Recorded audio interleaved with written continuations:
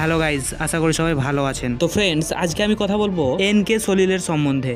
নীলি তো নীলি কি হবে? এ তো হোটেলের আমি তো এক্ষুনি ঘরে চলে যাব। টাওয়েল খুলে নিল।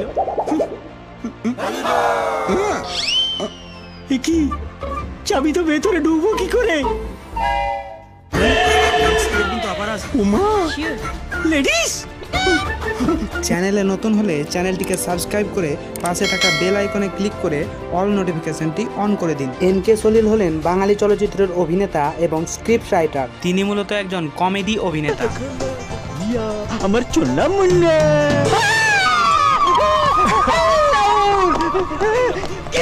তিনি উনিশশো একাত্তর সালে ভারতের পশ্চিমবঙ্গ রাজ্যের হাওড়া জেলায় জন্মগ্রহণ করেন। তিনি একজন সম্মানীয় পরিবারের সন্তান। তার বাবা ছিলেন একজন মার্চেন্ট নেভি ইঞ্জিনিয়ার একজন সাহেবী মানুষ। ছোটবেলায় তিনি ইংলিশ মিডিয়াম স্কুলে পড়াশোনা করেন। ছোটবেলা থেকেই তার ইচ্ছে ছিল অভিনেতা হবেন।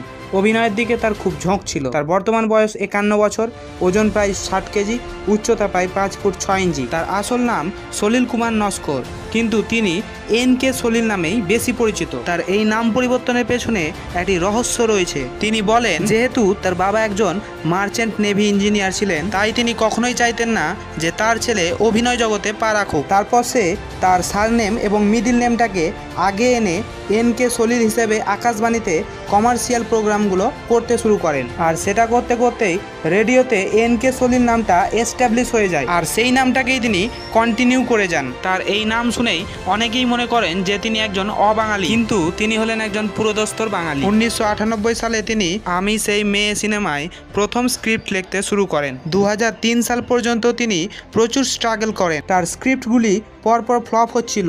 দর্শকদের কোনো রকম সাড়া পাওয়া যাচ্ছিল না। তারপর তিনি ভাগ্যচক্রে মিঠুন চক্রবর্তীকে পেয়ে যান। এমএলএ ফাটাকেষ্ট সিনেমাতে তার লিখিত মারবো এখানে লাশ পড়বে শ্মশানে ডায়লগটি মিঠুন চক্রবর্তীকে দিয়ে বলা করান। আর ডায়লগটি মিঠুনের গলায় খুবই প্রশংসিত হয়। সালা মারবো এখানে লাশ পড়বে শ্মশানে। তিনি বলেন মিঠুনের জায়গায় অন্য কেউ থাকলে সেটা এত প্রশংসা পেত না। ফাটাকেস্টোর পর তিনি অভিমন্যু চিতা কুলি যুদ্ধ বারুদ প্রভৃতি উল্লেখযোগ্য চলচ্চিত্রের স্ক্রিপ্ট লেখেন এবং খুব সাফল্য অর্জন করেন। এছাড়াও তিনি যেসব সিনেমার স্ক্রিপ্ট লিখেছেন সেগুলি হলো Shatruta Annadata Rajmahal Ghatak refugee I love you challenge Dui Prithibi Awara love express প্রভৃতি উল্লেখযোগ্য এর মধ্যে তিনি অনেক সিনেমাতেও অভিনয়ও করেছেন যেমন যুদ্ধ এম এল এ ফাটাকেষ্ট তুলকালাম মন মানে না কেল্লা ফতে লাভ এক্সপ্রেস হিরো ইত্যাদি তার হাস্যরসাত্মক বাচনভঙ্গির জন্য তিনি বেশি পরিচিত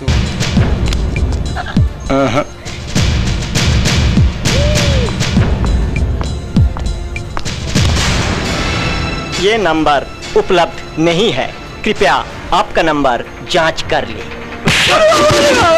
সো ফ্রেন্ডস ভিডিওটি এই পর্যন্ত এই রকম আরও ভিডিও পেতে আমার চ্যানেলটিকে সাবস্ক্রাইব করুন।